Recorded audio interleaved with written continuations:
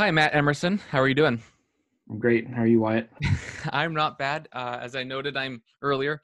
I'm in my basement bunker and have been able to work from home, and, and thankful for an opportunity to do that, despite the major difficulties that many people are facing right now. Yeah. Well, listen, I, I'm excited to talk to you. I'm interested to talk to you um, because I've seen you online for a while and through publication. Well, I've read one of your publications, not not the other ones yet. And I'm excited to talk to you about the idea of Baptist renewal, a resource uh, of retrieval theology, and the rest. Uh, to start off, I just kind of wanted to ask you a little bit about yourself. Can you just tell people who you are, your background, your ministry, sure. whatever you feel comfortable saying? Yeah. Uh, so just just I'm going to keep it short. My wife and I are from Alabama. Uh, we met in high school, Huntsville, Alabama, Grissom High School. Go Tigers! Both went to Auburn University. Um, so there's lots of Auburn paraphernalia around my office. War Eagle. Uh, we, we, were married in 2006, and then uh, went to Southeastern for my MDiv and PhD and PhDs in biblical theology. Uh, after I graduated from Southeastern, uh, we moved to California, where I taught at California Baptist University for four years, uh, and then moved to Oklahoma Baptist University, which is where I currently am in 2015.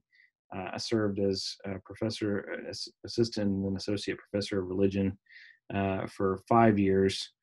And just last month was named the dean of the Hobbs College of Theology and Ministry. So um, still teaching, still writing, but I'm also doing some administrative work here. Uh, our pre- our president Heath Thomas was promoted from that position, and so then uh, I moved up into the dean spot, and that's as brief as I can be. I think.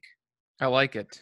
Um, now you're part of this kind of Baptist renewal movement. I mean, there's a website that. Uh, whatever the Center for Center for Baptist Renewal or whatever the exact title is, and you yeah. recently, sorry, what was it? That's right. Okay. Center for Baptist Renewal. And you recently have uh, co-edited a book called Baptist and the Great Tradition.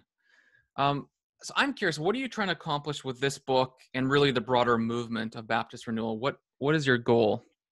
Sure. Well, the, basic goal is to connect Baptist churches and pastors to the Christian tradition, um, and and that's again as sort of simple as I can put it. Where we want to help connect pastors, interested laypersons, uh, churches as a whole, we want to help them connect with the Christian tradition, both in terms of doctrines that we think are helpful and important and beneficial, and in terms of uh, worship practices, liturgies, uh, historic liturgies that are that are helpful for Baptists. Uh, we want Baptists to maybe have a better sense of our own history.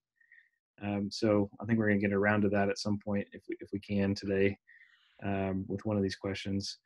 Uh, Baptists tend, at least in America, um, and at least with Southern Baptists, so I'm speaking particularly from my own context, we tend to um, know church history starting at around 1970. Um, and then, you know, and so for, for Southern Baptists particularly, that's a really important decade. Um, but, you know, if we know anything else about Southern Baptist history or even church history, it often doesn't go farther than you know 1900, maybe 1800, and then maybe if people are kind of into church history and Southern Baptist life, it's uh, one of the reformers. And um, you know, we want to say, well, there's 1500 years prior to the Reformation that's also important, and that also can help uh, us understand our place in the church and understand particular doctrines and understand particular worship practices and not not all of obviously not everything that um, cer- certain traditions have believed throughout space and time is going to be appropriated by Baptists because then we wouldn't be Baptists anymore. Um, but there are certain um, doctrinal ways of formulating doctrine. There are certain um, worship traditions that we think are helpful, that would be beneficial, that, that could help uh, Baptist churches grow in health and maturity um, and really in connection with the larger body of Christ. And that's really what we're about. We want to connect Baptists to the larger body of Christ, both historically and, and contemporarily. So it sounds like when you say kind of the Christian tradition or that idea, you mean not merely the last few hundred years, but really the whole scope of a of a two thousand, roughly two thousand year history of the church. Um, so that means you have this sort of uh, temporal depth to you, but there's also kind of a horizontal one as well in terms of a broader community of faith. Do you see this kind of Baptist renewal as uh, wanting to work more with our brothers and sisters who are Presbyterian, Anglican, kind of a bit broader, or, or are you more kind of in that vertical stream in terms of the past? No, it's definitely vertical and horizontal. Um, on the horizontal level, I, I, think that there are certainly tangible goals. I'm sure we could map out. Um, for us, the main goal on that on that horizontal level is again just to show. And again, I'm speaking particularly as a Southern Baptist. So when I say Baptist, I'm, speaking from my own context. Um, to show Baptists that we're connected to each other, um, and not just other Baptists or to other Southern Baptists or whatever, that we're connected to the entire body of Christ in particular ways. And that can be true in the fact that, say, we all affirm the same Trinitarian and Christological confessions, or it can be true in the in the fact that we have uh, the same doctrine of Scripture, or it can be true in the fact that we're participating in some of the same worship practices every Sunday. So whether it's reciting the Apostles' Creed or taking the Lord's Supper every week, those things connect us not just to Christians in the past, but to Christians throughout space and time um, and that that's really what we're trying to do is is situate our own particular Baptist tradition within the larger Christian tradition, both throughout time and now, currently throughout space. So geographically. That's helpful. Now you're using the word tradition, and and I would say, you know, I'm a Baptist. I am a Baptist. Yeah, I'm a Baptist. So I kind of understand a little bit of what you're talking about. But there's a sense in our tradition that we're a bit suspicious of authority were often individualistic, congregational, you know, local church only. Yeah. And the word tradition, I think, would make some of us feel uncomfortable. C- can you kind of expand on that? Like, what do you mean by tradition, and how does what you're saying fit in with a kind of a Baptist identity and maybe Baptist tendencies towards uh, sure. Uh, that suspicion? Yeah. So first of all, on the the point about Baptists being individualist and um, kind of suspicious of authority, um, I I would want to say first that that wasn't true of all early Baptists. So there are some early Baptists and especially some early Anabaptists where that definitely is true. Um, but when you look at the English separatists and the Baptist movement that came out of English separatism, as well as some of the um, kinship they had with Anabaptists, and at least in the General Baptist in England. Um, these these confessions that they wrote were deeply rooted in the Christian tradition, in the sense that they're drawing on Nicene Trinitarian formulations, they're drawing on Chalcedonian Christological formulations, they're drawing on um, the four ecclesial notes of the church uh, from the Nicene Creed, right? So they're drawing on all these things to talk about these doctrines that they hold in common with all other Christians. Uh, and, and so there's not this deep, which I, I, know exactly what you're talking about, and I agree that it's it's prevalent um, in Baptist life, but there it just wasn't um, articulated that way in in early, much early Baptist thought. And I so I would say that um, this this deep suspicion of tradition and this kind of individualist mindset is really a product more, not necessarily just a Baptist thought, but it's really a, more a product of modernism and the Enlightenment. And it can be true of any tradition. Um, I, I, think, you know, when you look at what has happened uh, in certain mainline traditions, or when you even look at what, what happens um, with some Roman Catholic thought, right? Uh, nobody is uh, free of the influence of modernity and the Enlightenment um, in, in, in the sense that uh, we're autonomous individuals, that sort of thing. So when I talk about Baptist distinctives like the ones you mentioned, where we're talking about, uh, you know, believers' baptism, we're talking about local church autonomy, we're talking about freedom of church and state. Um, I prefer to put those in terms of personal responsibility before the Lord and Christ as King over all things. Right. So when I'm talking about believers' baptism, I don't want to put it in terms of I'm only responsible for myself. I, I do want to put it in terms of every every individual stands before the Lord and is responsible for their stance toward the Lord. Um, when I talk about local church autonomy, I want to talk more about Christ's kingship than I talk about, you know, I don't want anybody telling my church what to do, that kind of thing, right? Christ is the king over this local church. When I talk about, and the same thing is true of, of uh, separation of church and state. Um, it's it's not the fact that um, you know, our faith has nothing to say to the government or vice versa. Um, you know, in other words, it's not that those two spheres never intersect. It, it is, though, the fact that um, Christ is king over the church, not the state. And, uh, you know, there is some connection between those sentiments and the kind of reductio ad autonomy that you see in modernity, but they're not the same.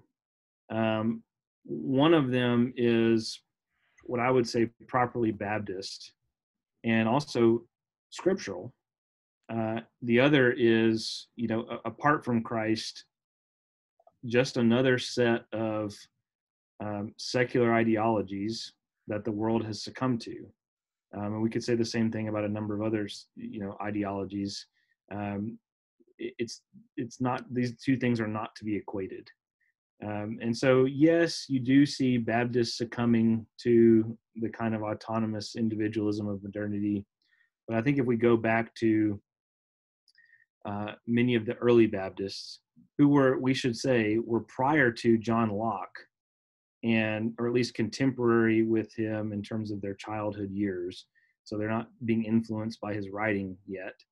Um, the early Baptists were not drawing their notions of liberty from John Locke, and it is true that sort of a century later, century and a half later, especially in America, uh, Baptists did, and, and other American churches did, latch on to Lockean views of freedom. It is true that American uh, Baptists, uh, Baptists in America, and other churches in America did lock on to the kind of pragmatic individualism that we see. But what I want to say is that doesn't mean that that's the same thing as what it means to be Baptist. Right. And it seems like we're always uh, part of the culture in which we live. There's always some, somehow that we're being influenced. It's not the case that just because some Baptists or many Baptists are influenced by a certain understanding of freedom, of liberty, that that defines the entire movement. And you know, there's yeah. I don't know, it was like 350 years of history roughly of Baptists, and there's a kind of a rich diversity there as well that you can access. Right. Now, you uh, personally, as a Baptist, have done a lot of know, work in terms of retrieval, of looking into the past, resourcing the church today with the wisdom of the past. And a couple of areas that I know that you've done I'm sure you've done more, but these are the two areas that I know are on the in the area of eternal generation, which is mm-hmm. Trinitarian theology, and on the area of the descent, which is um, a book you published last year, I believe, right? Yeah, in December of 2019. Okay, so almost this year. yep. So I'd like to focus on the first one first, and just yeah. going to ask you, why do you, why do you as a Baptist, why is you as a as a professor, as a person, think eternal generation is so important? And how does that actually work out in terms of our theological thinking and, and church life? Yeah. So, I mean, the first part of the answer to that question comes in in relation to your previous question, which I didn't answer some of that on tradition. I mean, and just very briefly, I would I would say that uh, tradition, in in a proper sense of the term, uh, and this is drawing on Heiko Oberman's categories: tradition one, tradition two. Um, tradition one says that uh, tradition is only authoritative insofar as it is derived from scripture. So scripture is the norming norm by which all other norms are normed. Norma normans non normata. Um, and what that means is that uh, scripture is is the ultimate authority. We believe in sola scriptura. We're Protestants, um, but that doesn't mean that there are not other kinds of authority that derive their authority from scripture. And that's what we're talking about when we talk about tradition. Tradition is only authoritative insofar as it is derived from Scripture. And so, with eternal generation, um, it's important to me because it's really the linchpin of the foundational tradition of the church, which is the Nicene Creed. Um, you you don't have Nicaea without the concept of eternal generation, and so I want to take that seriously you know, I, I want to I want to say that yes, creeds can be wrong. Yes, confessions can be wrong. Um, but the burden for overturning a creed or a confession is not my own individual exegesis of an individual passage of scripture. Uh, it would need it would take the consensus of the entire church to overturn a creed to say, ah, you, you know what, we were wrong 1500 years ago or 1800 years ago, whatever. Um, this is this is not biblical. Um, it, it, doesn't it doesn't stand or fall on me uh, to to do that. So when I think about tradition, um, I'm thinking about something that's derivative from Scripture, but also, especially in the case of the creed, something that has stood the test of time.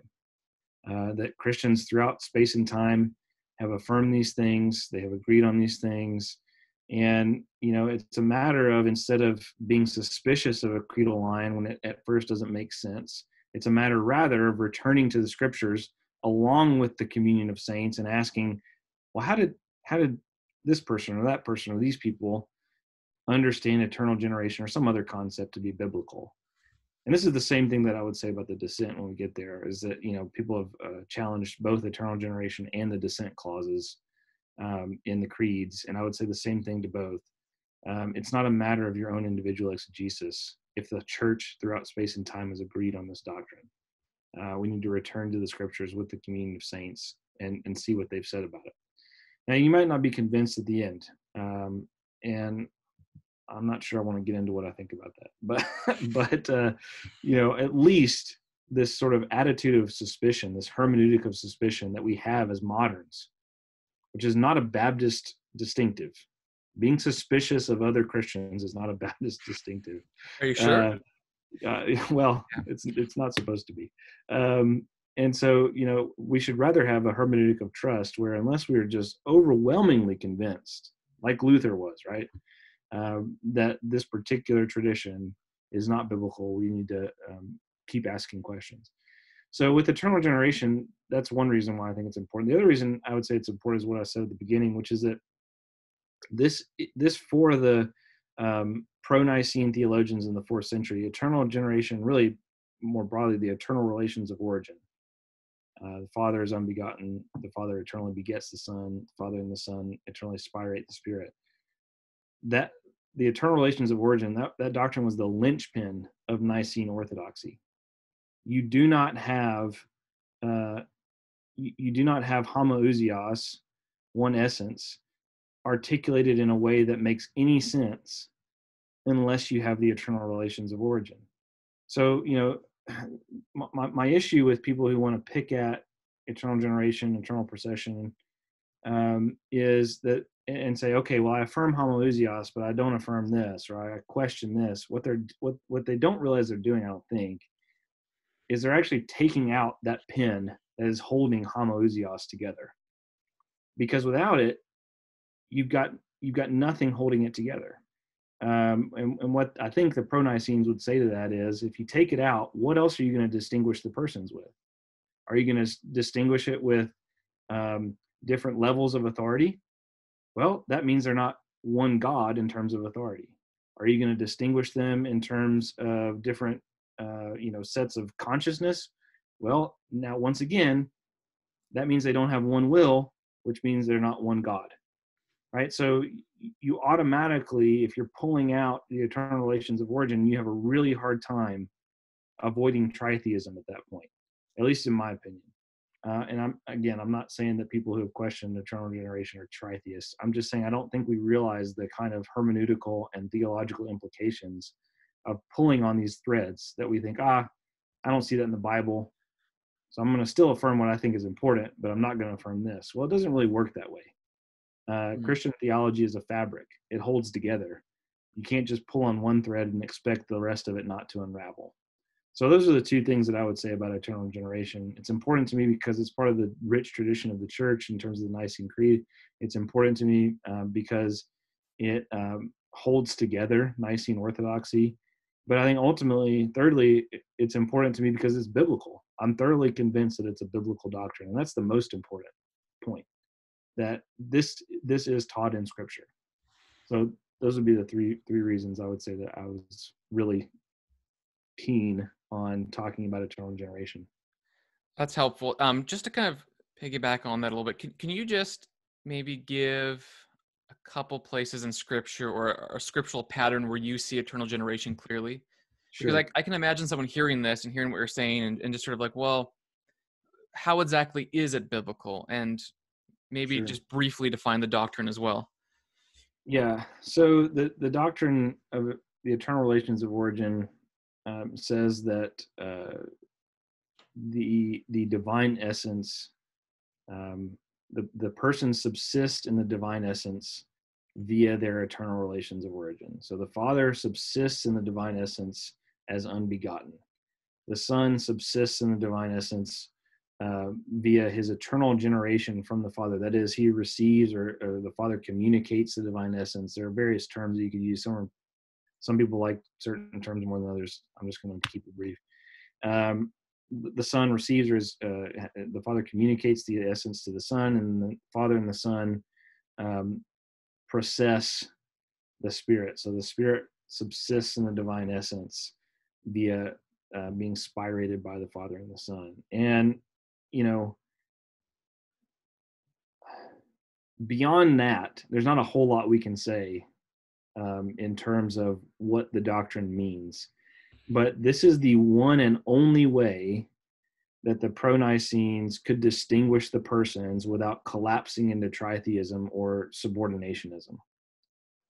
And they so it's important for that reason but it's more important because it's in scripture right? So it's you know they're not searching for a, um, solution to a problem.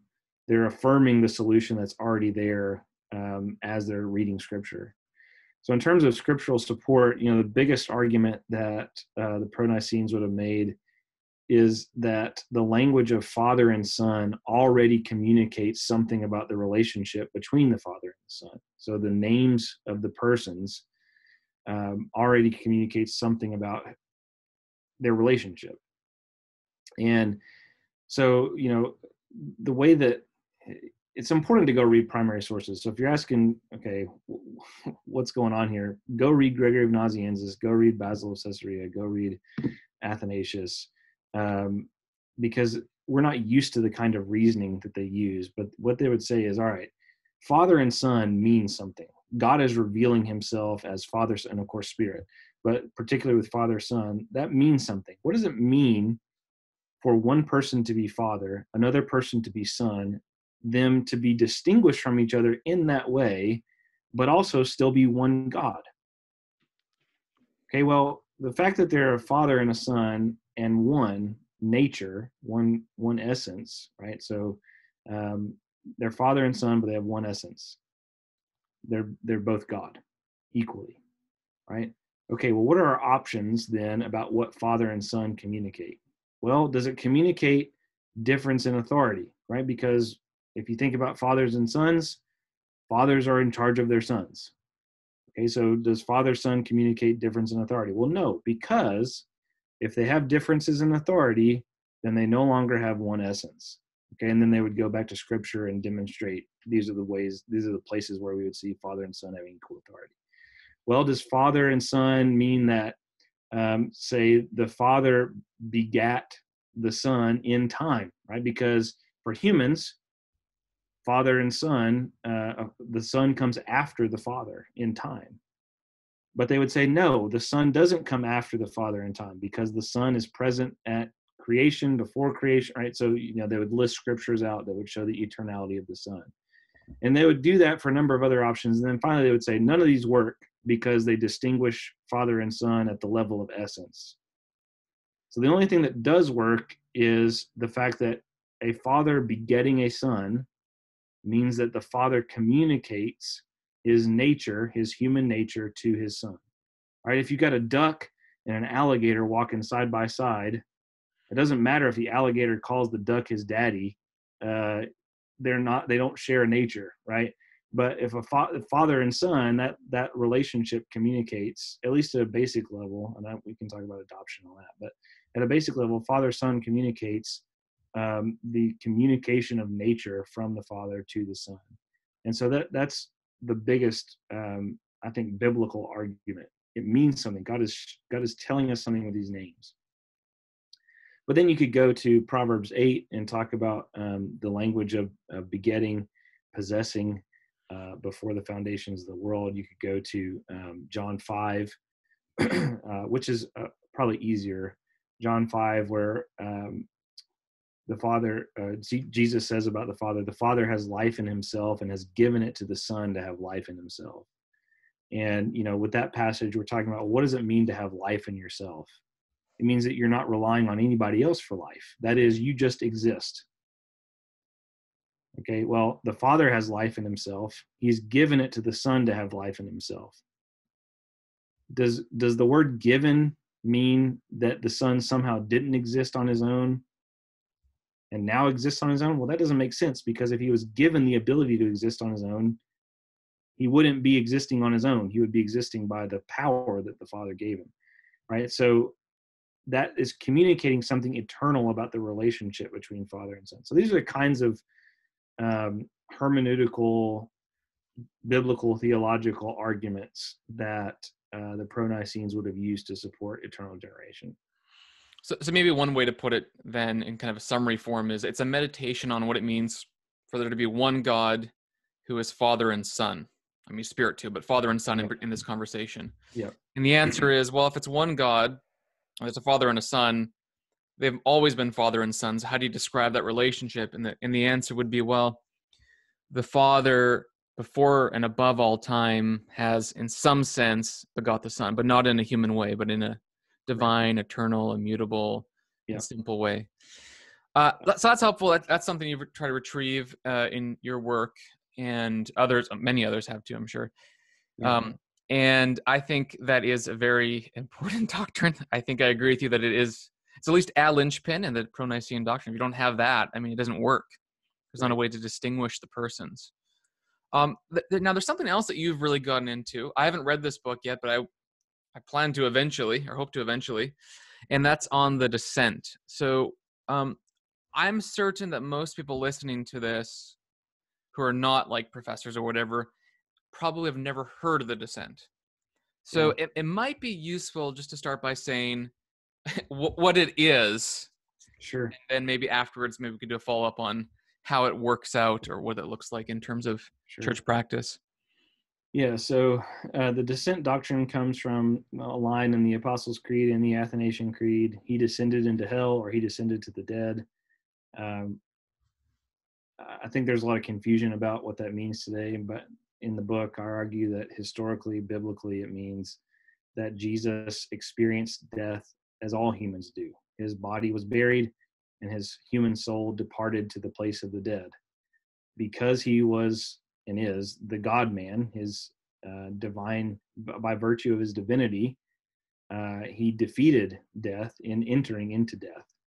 And uh, in in rising from the dead, he changed the place of the dead from a place of expectation and waiting to a place of reality where the Messiah is there. He's bodily resurrected. The dead are with him, or the righteous dead are with him. He wasn't tormented in hell. It doesn't mean that he uh, went down and released all of the people in uh, in Hades, the place of the dead. You know, it's not universalism. It's not Jesus experiencing the torments of hell in his human soul. Uh, it, it's not um, yeah, it, it's not the kind of caricatures that you sometimes get.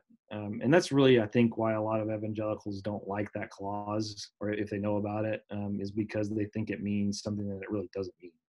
So, just at a basic level, Jesus experienced death like all humans do, and because he's the God man, he defeats death. That's that's as simple as I can put it. You use the phrase about transforming the place of death. Um, what do you mean by that? Is are you kind of arguing that there's a transition from the how Sheol's characterized?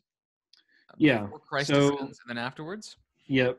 Yeah, and and so this is you know Ephesians four eight through ten that um, he led a host of captives. What is what is that talking about? Well, I think it's talking about the descent, which is a minority report these days. But um, I talked about the exegesis of the passage in the book, um, and I think that when when Ephesians when Paul talks about uh, leading a host of captives in Ephesians, um, he's talking about the fact that paradise is necessarily changed, right? So, um, not to get in all the gory details, but uh, in in the Old Testament, especially in Second Temple Judaism and then the New Testament, the place of the dead was conceptualized as having different compartments. So you have paradise, the place of the righteous dead. You've got um, sometimes it's called Gehenna, sometimes Hades, sometimes Sheol, which is the place of the unrighteous dead, and then you've got Tartarus, uh, prison for the evil angels.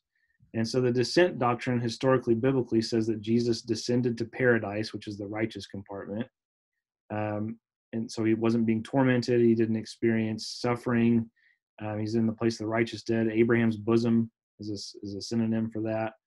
Um, but because, you know, like you see in Luke 16, all the dead are there, he can communicate with all the dead. He proclaims his victory to all the dead. And then when he rises from the dead, um, he's raised bodily. And really, as he ascends into heaven, he's raised bodily, ascends bodily and the dead are with him the righteous dead are with him in his bodily resurrection and ascension. Not bodily you know they haven't they haven't been raised from the dead um, but the place of the dead the righteous place of the dead is now changed from a place of expectation. We're waiting on the messiah. That's why they're in the righteous compartment because they have faith right? So they're waiting on the messiah to arrive well now he's here he's here in his descent in his human soul he's uh, raised from the, the place of the dead in his resurrection, and then in his ascension, uh, he's with the dead as well. And we see this like in Revelation 6, right? The martyrs under the throne. Um, and so the place of the dead has changed from one where they're waiting for the Messiah to now the Messiah is bodily in their midst. And so that's that's why the tradition has uh, typically talked about the descent as a release of the captives.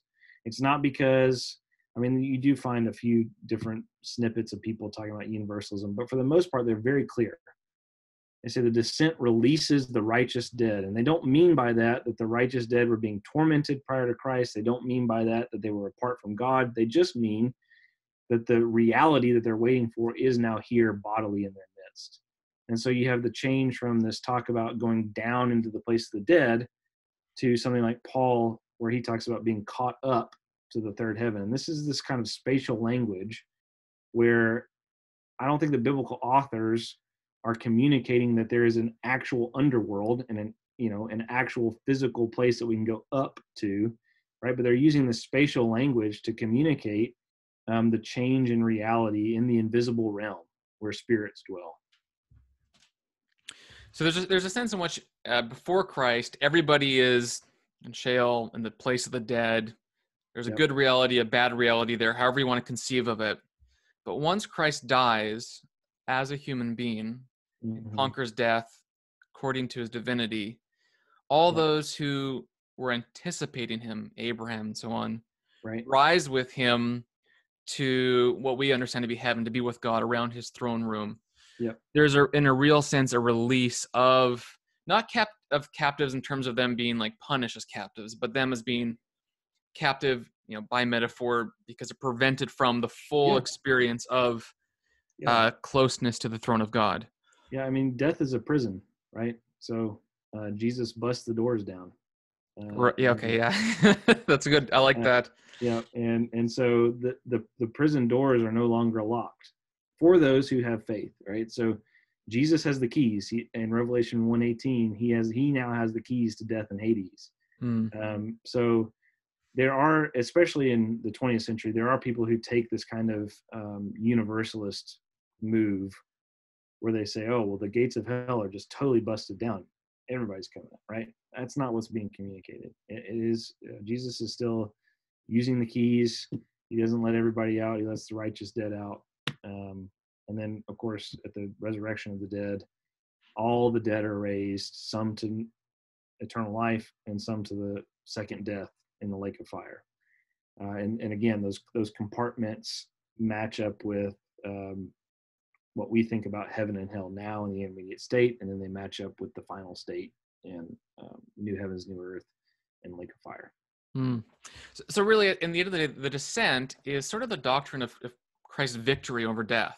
It's a That's it's right. a complement to the cross in a sense. It is maybe maybe it's part of what the cross does. I suppose you could put it that way. It is explaining further how Christ conquered death, how he overcame it, and how he redeemed the saints who are made perfect. Yeah. Now we're, right. and the heavenly Yeah. Zion. Yeah, and you can think about it in in terms of Philippians two, uh, there at the end, where uh, Jesus is given the name that is above every name, so that every knee in heaven and on earth and under the earth will confess that Jesus is Lord. And so the descent is his declaration of his victory and his kingship over the underworld, resurrection, at second tier, just the earth, and then his ascension, he's king in heaven. Um, and so, uh, you know, often in the book, I, there's a graphic uh, where I, I show this. You think about the work of Christ in sort of a, a V shape, right? So he descends from heaven to earth, and then from earth to the underworld, and then he is exalted from the underworld to the earth, and then in, into heaven in the ascension.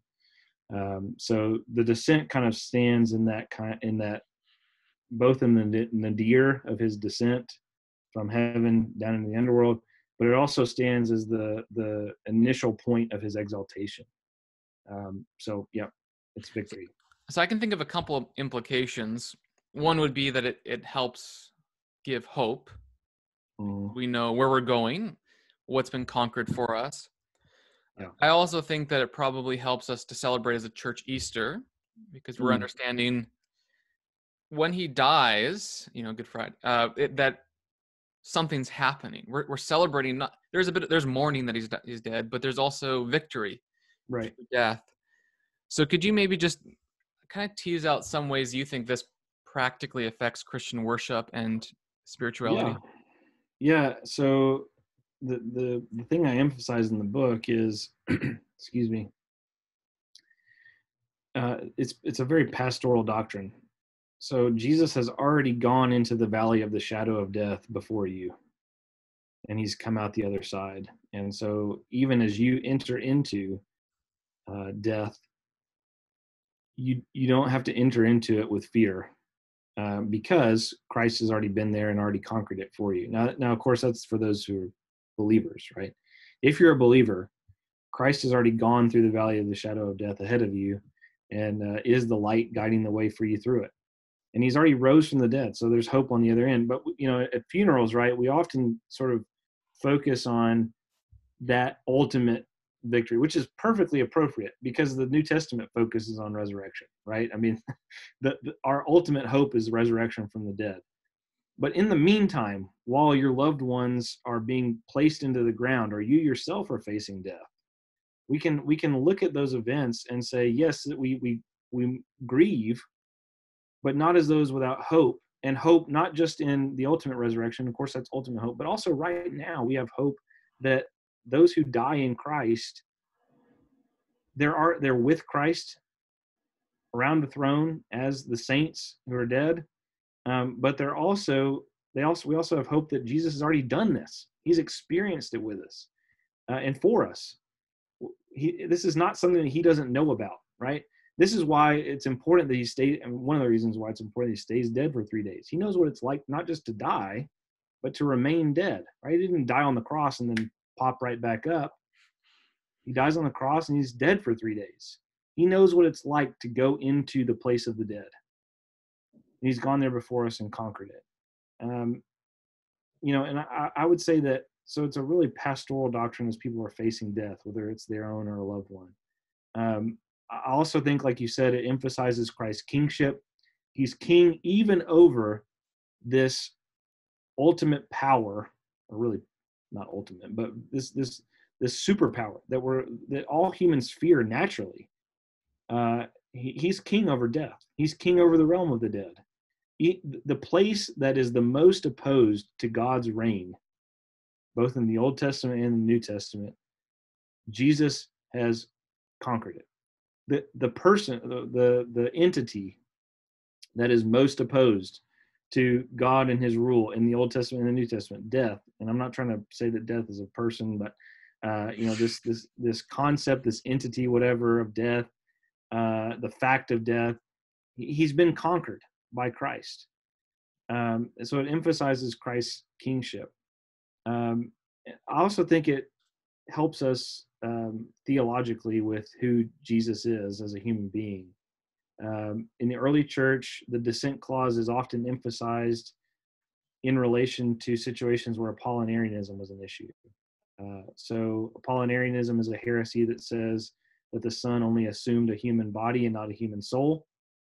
Um, and of course, the descent affirms that Jesus descends in his human soul to the place of the dead. And so, what better doctrine is there to combat the heresy of Apollinarianism uh, than the descent clause where Jesus is descending in his human soul? So, those are all, I think, important ways that the descent impacts pastoral ministry, it impacts our vision for uh, who Jesus is, it impacts how we think about Christology. It's really, it's really a crucial doctrine in a lot of ways. Hmm. Well, that's helpful. I think you know after you hear it explained, it makes a lot of sense, and it sort of reminds me. Uh, I think of First Corinthians 15, where Paul it re-narrates the gospel in short form. He affirms that Christ died, mm-hmm. rose, but sometimes he overlooked that it affirms that he was buried. Mm-hmm. According to, uh, I think according to Scripture, it says with the burial as well. Like, my brain's not yeah. quickly connecting no, it. Yeah, but he died according to the scriptures. Yeah, okay. He was buried. He was raised according to the scriptures. Yeah, so all that's according to scripture. So yeah. there's a sense in which uh, the descent kind of overlaps with that burial clause there, that, that right. word. And it, it really is part of the good news. It is part of the proclamation. That's right. Christ lived for us. He died for us. He stayed dead for us. He rose for us. He yep. ascended for us, and he'll return for us. Yep. So, so, now we have something to celebrate on Saturday besides Easter egg hunts. Yeah, yeah. Right? Both are good, but uh, yeah, this right. one might be slightly better. Yep. Um, that's all helpful. So earlier, you when talking about turn generation, you mentioned you should read some of the fathers um, yourself, and now we're talking about descent. Could you just kind of maybe just books that come to the top of your head to recommend? Like, what books should people read if they're interested in these topics?